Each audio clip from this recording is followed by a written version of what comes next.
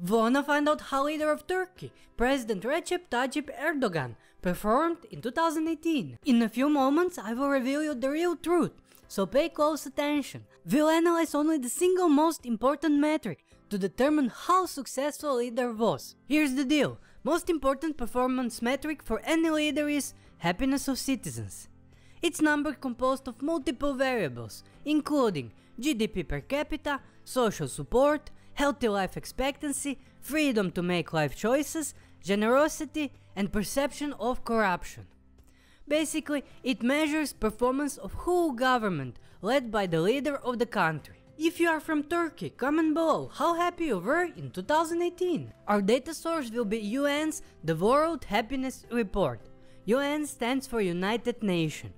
We'll analyze two main factors, position in 2018 happiness report and change in rankings. Based on those factors, all leaders get grades.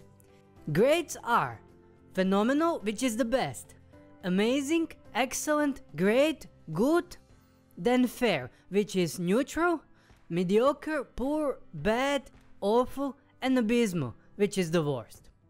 If country dropped ranking from last year, leader can't get positive grade. Is that clear?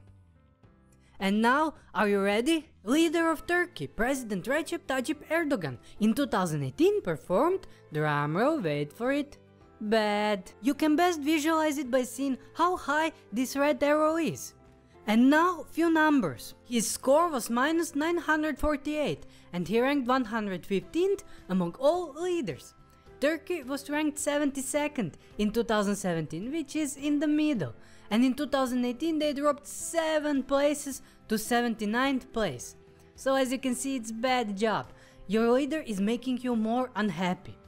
If you now want to see how Turkey ministers in charge of finance and economy performed in 2018, click the link in the top right corner. And that's not all, let's see few leaders that performed best, so you can see how phenomenal performance looks like. Here is the top of the rankings.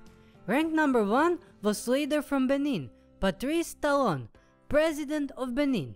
He did phenomenal job and Benin recorded jump of 33 places in the rankings. Awesome! Rank number 2 was leader from Kosovo, Ramush Haradinaj, Prime Minister of Kosovo. Phenomenal job, Kosovo jumped 90 places in the rankings. Rank number 3 was leader from Italy, Giuseppe Conte, President of the Council of Ministers of Italy.